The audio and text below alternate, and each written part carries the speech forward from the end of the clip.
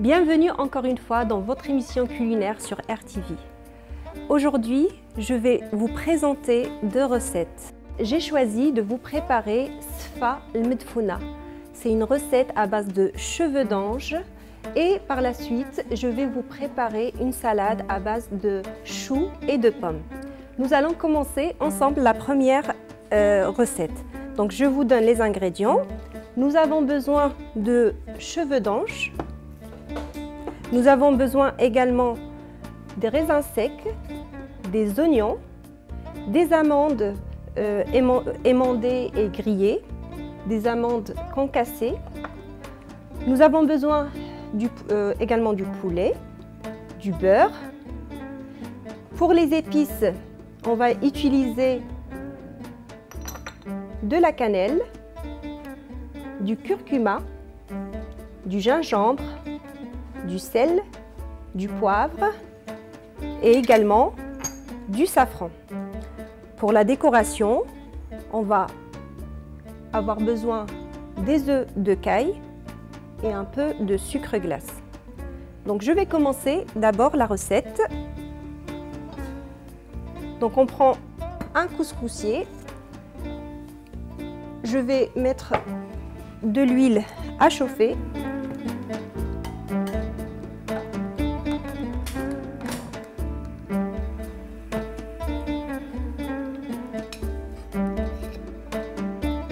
Je mets un filet d'huile d'olive,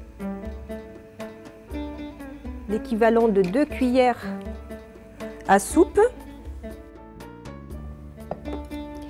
Et je vais venir saisir mes pilons de poulet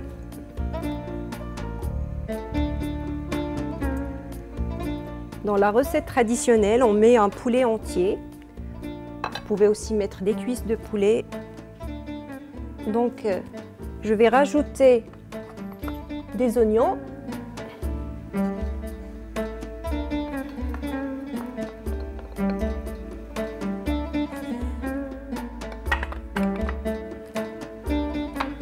Un peu de persil et de coriandre.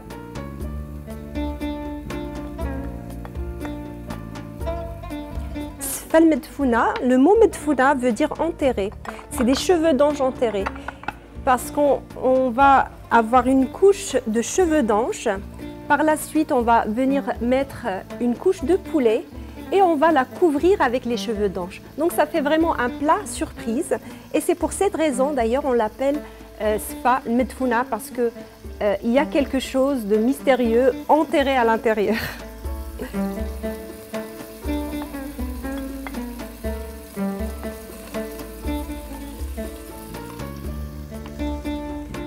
j'ai mis de la coriandre.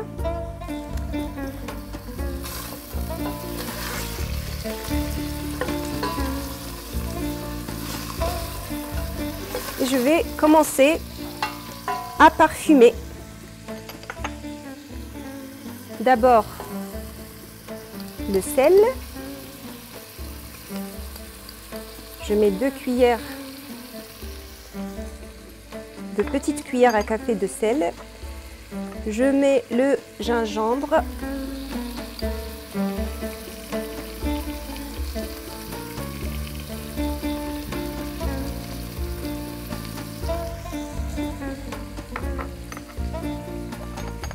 Je continue avec le curcuma,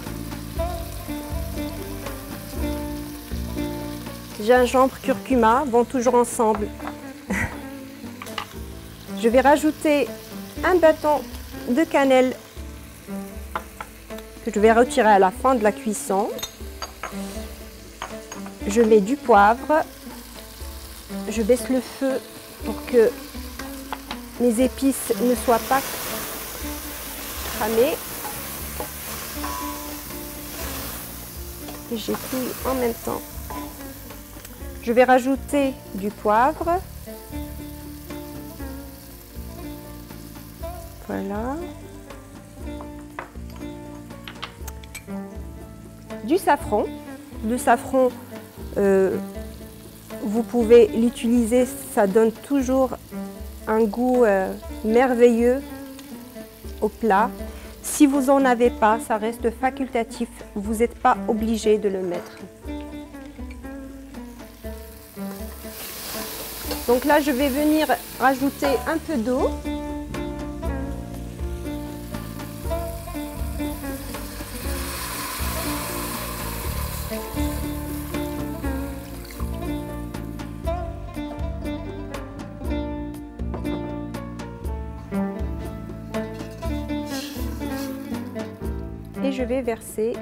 Par la suite des raisins, des raisins secs.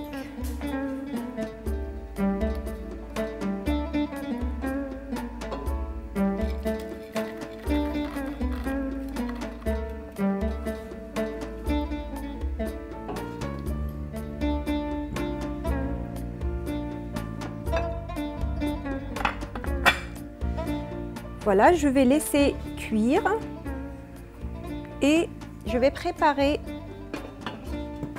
maintenant les cheveux d'ange. Donc j'ai mis déjà le couscoussier fermé. Je vais prendre un saladier.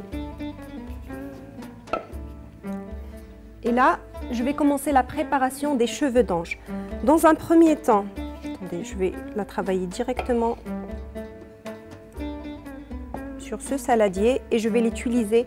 Vous allez voir après, je vais vous montrer une façon très facile pour, pour accélérer la cuisson des cheveux d'ange. On sait très bien, on n'a pas le temps.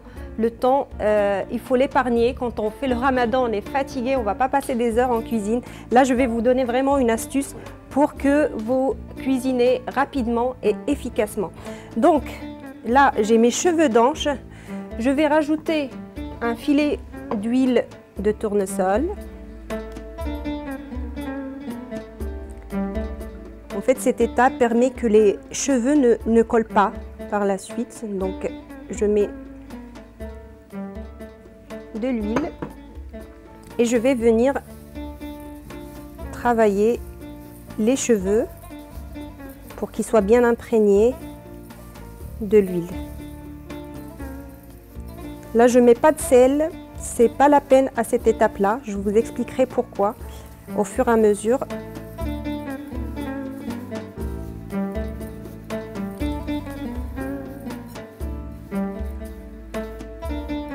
Et je vais venir mettre mes cheveux d'ange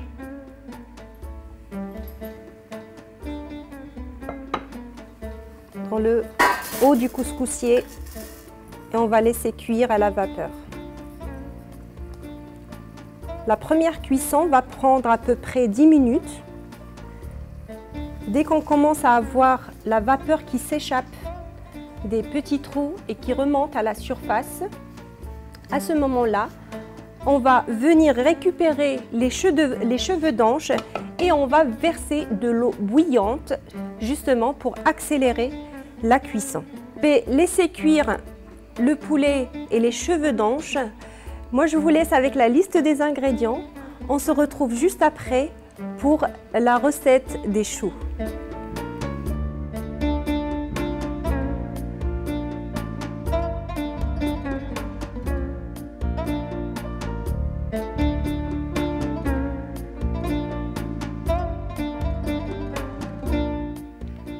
Chers téléspectateurs. Je vais commencer ma deuxième recette, la salade de choux à la pomme. Alors pour cela, on a besoin des choux blancs, une pomme verte acide. On va avoir besoin également des figues moelleuses coupées en petits dés, des dattes, pareil, coupées en petits dés, des noix concassées, des abricots euh, secs coupés en petits dés, on va avoir besoin également du jus d'orange, de l'huile d'olive, du vinaigre et pour assaisonner, du sel et du poivre. Alors, je vais commencer ma salade délicieuse et rapide.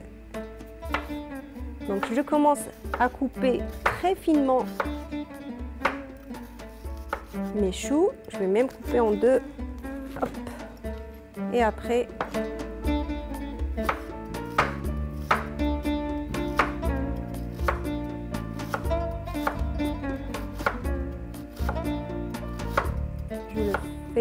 je le cuis vraiment très finement. Enfin, je coupe vraiment très finement.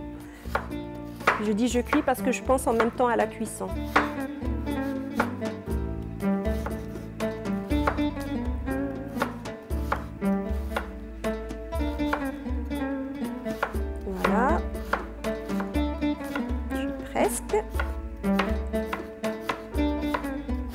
Très bien que les choux sont, sont super bien pour, euh, pour la santé.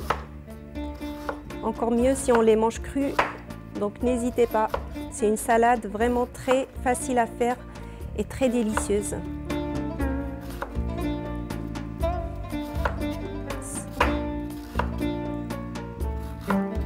On trouve, moi personnellement, je trouve qu'il y a un peu d'amertume dans les choux et cette salade les autres ingrédients, la pomme, elle va venir pour adoucir le goût de, des choux et encore mieux avec les, saveurs sucrées. C'est juste une merveille. Voilà, donc j'ai mis les choux dans mon saladier. Maintenant, je vais prendre la pomme et je vais, je vais la couper en deux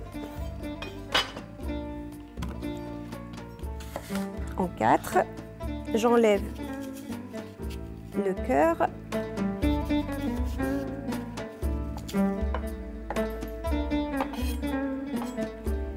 Et je vais couper mes pommes en petits dés.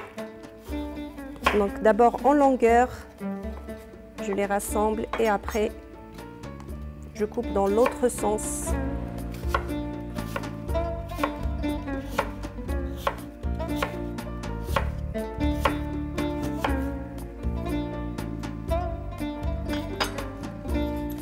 J'ai choisi cette salade pour accompagner Sfalmedfuna parce qu'elle reste euh, une salade avec des légumes parce que dans Sfalmedfuna on n'a pas de légumes et j'ai trouvé que ça peut être bien d'avoir les deux pour qu'ils soient complémentaires.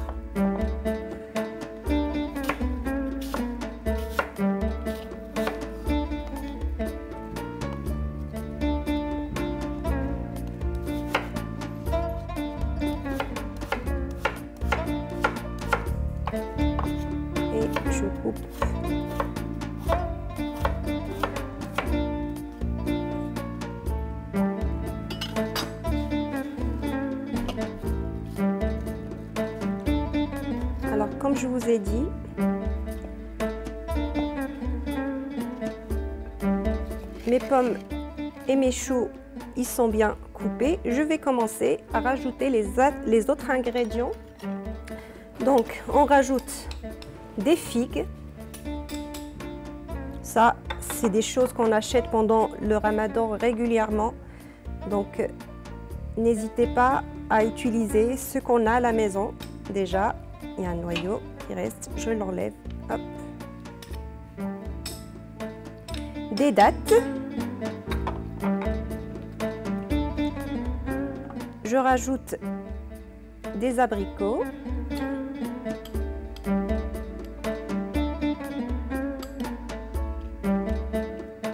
donner un peu de couleur.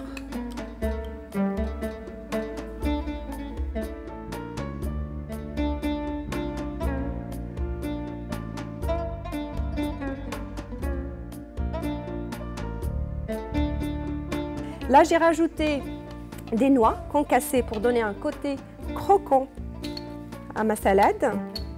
Donc, il y a déjà les choux qui sont croquants avec, avec les noix.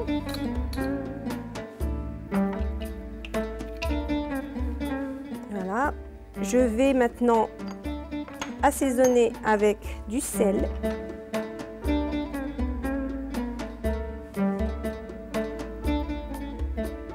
Une pincée de sel. Je vais rajouter du poivre.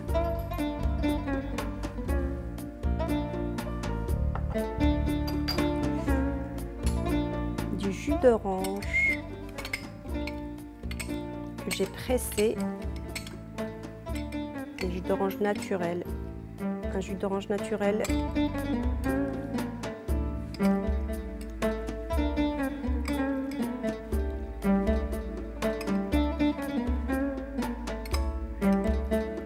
J'arrose ma salade. Il me reste qu'à mettre de l'huile, l'huile d'olive de préférence.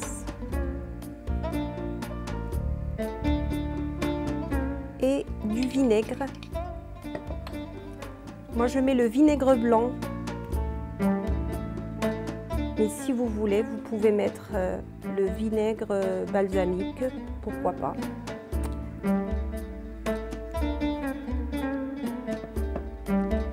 Voilà, donc vous avez vu, je vous ai promis que c'était une salade très facile. Mais regardez encore les couleurs. Je vous invite vraiment à la refaire chez vous.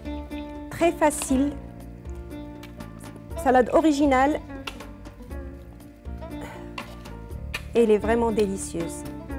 Je suis persuadée que ça va vous plaire. Voilà, je la mets de côté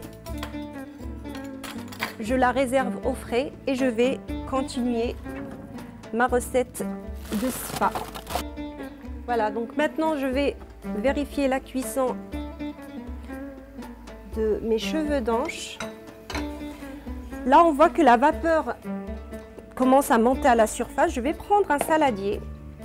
Je vais venir prendre les cheveux d'anche. Je les pose sur mon saladier et comme je vous ai promis, l'astuce pour que les cheveux denses cuisent plus vite, c'est que je viens prendre de l'eau bouillante et que je vais verser sur mes cheveux d'anche directement dans le plat du couscoussier.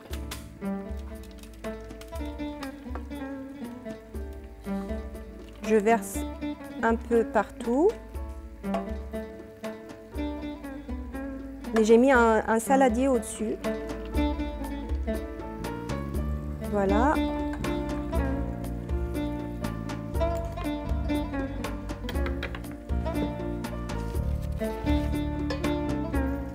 Et je viens ouvrir mes cheveux d'anche. Je les tourne pour que je vérifie la cuisson que la cuisson soit vraiment homogène. Si vous voulez, en fait, le début de la cuisson se fait directement avec la vapeur et on va accélérer la cuisson avec l'eau bouillante.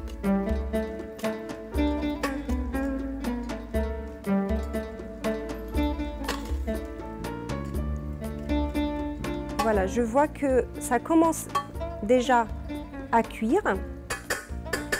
Je vais rajouter maintenant de l'eau froide. Pourquoi? Parce que je veux arrêter la cuisson. Je veux stopper la cuisson parce que je vais la remettre encore une fois sur, euh, sur mon bouillon pour qu'elle cuise encore une fois avec la vapeur. Donc là, j'arrête la cuisson avec de l'eau, de l'eau froide cette fois-ci. Je vais mélanger ma vermicelle. Je lui donne un peu d'eau, vous, allez voir, elle devient beaucoup plus humide et en même temps, l'eau, elle passe dans un saladier. À cette étape-là, je vais rajouter des raisins secs. Comme ça, à leur tour, ils vont cuire à la vapeur et ils vont gonfler un petit peu. Ils deviendront moins, moins secs. Donc, je mélange tout.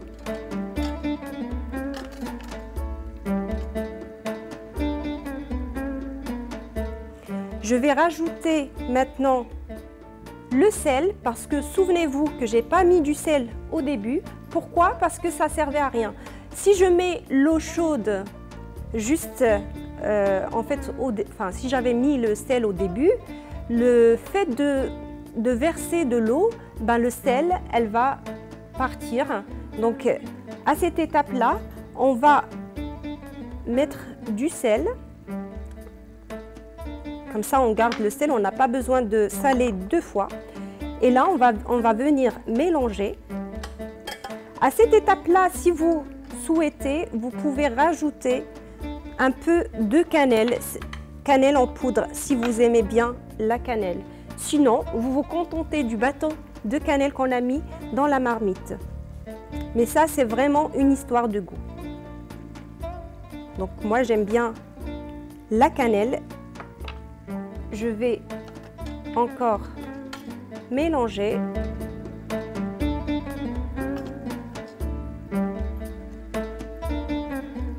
Je vais remettre mes cheveux d'anche sur le feu et regardez déjà le poulet c'est en train de cuire. Les raisins secs pareil.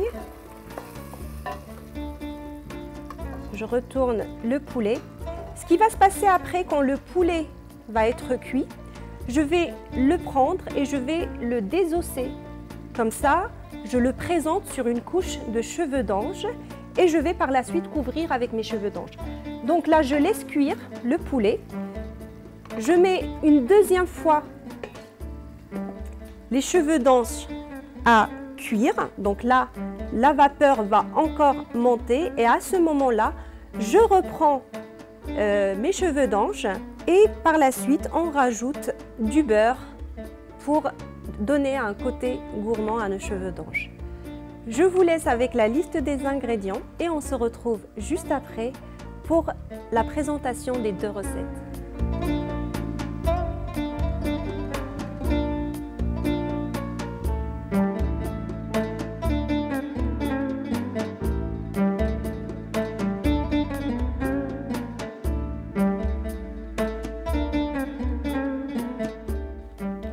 Chers téléspectateurs.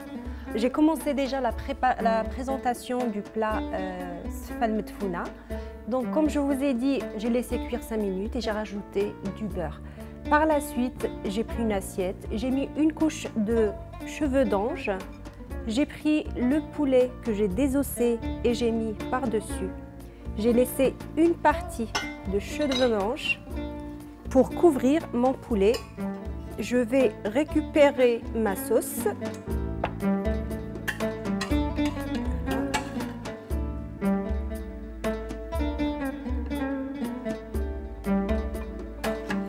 Donc j'arrose les cheveux d'ange.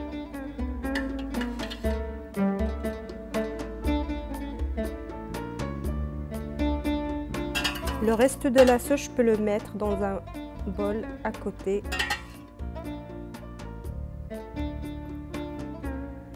Voilà.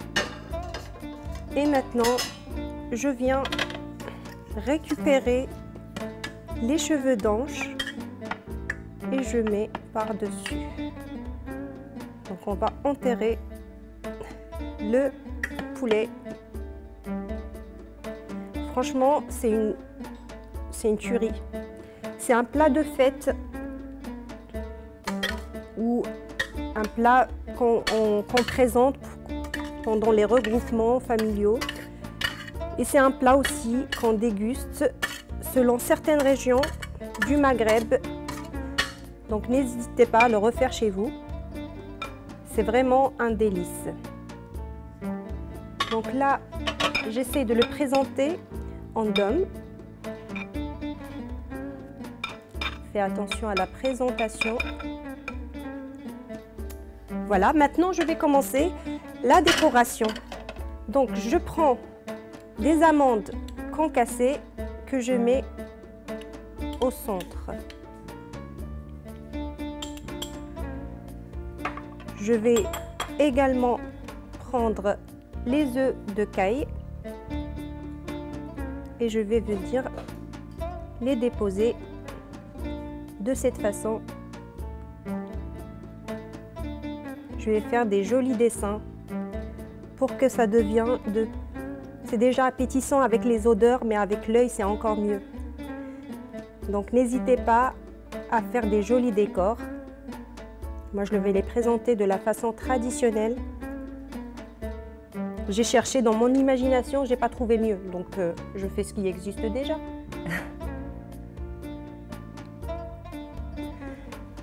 voilà, je vais prendre également des amandes cette fois-ci des amandes entières. Je mets entre les œufs.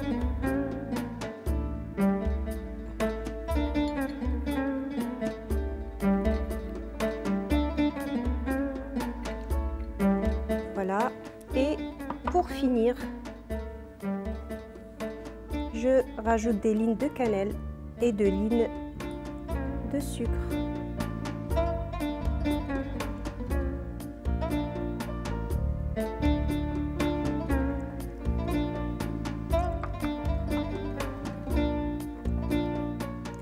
Refaites cette euh, recette chez vous. C'est vraiment très simple, très délicieux. J'avoue, ça manque un peu de légumes, mais comme je vous ai dit, vous avez aussi l'idée que je viens de partager avec vous, la salade de choux avec des abricots, des fruits secs. Et là, avec ce menu, vous avez un plat complet, équilibré et délicieux. Voilà la présentation finale de mon plat. J'espère que vous allez refaire les deux recettes chez vous. Moi, je vous souhaite un bon appétit, et on se retrouve demain à la même heure. Je vous dis au revoir.